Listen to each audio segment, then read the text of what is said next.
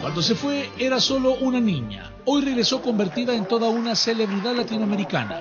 Marisela de Montecristo es nuestra belleza latina y recorrió de nuevo los pasillos donde obtuvo sus primeros conocimientos académicos. Que yo le enseñé a leer y a escribir sus primeras letras y ella también me dice que está bien contenta. La obtuve en primer grado, segundo grado, eh, tercer grado y en el cuarto grado pues ella tuvo que emigrar, ¿verdad? Para hacer lo que hoy es. Fue una mañana llena de reencuentros. Compañeras de infancia vivieron momentos emotivos con Marisela, quien no pierde su sencillez y humildad, dijeron. pueblo salvadoreño tiene el cielo por sombrero, tan alta es su dignidad, en la búsqueda del tiempo en que... Mira, son tantas emociones encontradas, tantos recuerdos. Ellas fueron mis compañeras del, del kinder, primero, segundo, tercero, hasta cuarto año que estuve yo en esta escuela. Volverlos a encontrar así, este reencuentro ha sido tan maravilloso, tan bonito. A ver, chicas, ¿y cómo era Marisela cuando estaba chiquita? Ah, era tremenda.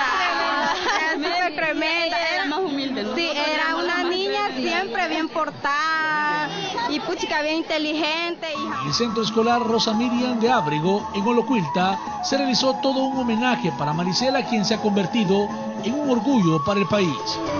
¡Anda! Y es que te has puesto tan linda como la flor del Cuba que a veces me dan ganitas de alguna barbaridad. ¡Uy, uy, uy, bajora!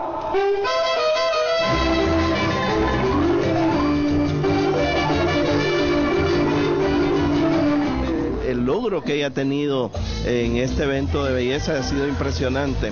Y lo que ella quiere dar a conocerlo, dar a apoyar, realmente es significativo. El hecho de que venga a su pueblo, que venga donde vivió, su casa y que recuerde todas sus raíces, para nosotros es significativo. Nuestra belleza latina no vino con las manos vacías y demostró su amor hacia los estudiantes de este centro educativo con un cargamento de obsequios. Para mí es un honor, un orgullo regresar y dar estas, estas cosas que yo sé que les van a ser de mucho útil a todos ustedes.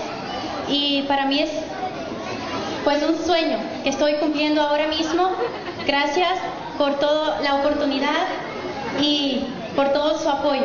Marisela de Montecristo es la Belleza Latina 2013, un ejemplo más de superación que demuestra que los niños y jóvenes solo necesitan oportunidades para triunfar en la vida y ser orgullo de sus familias, amigos y, por qué no decirlo, de la nación entera. Con imágenes de Ángel Flores, en Olocuilta, Rodolfo Portillo Noticias, 4 Visión.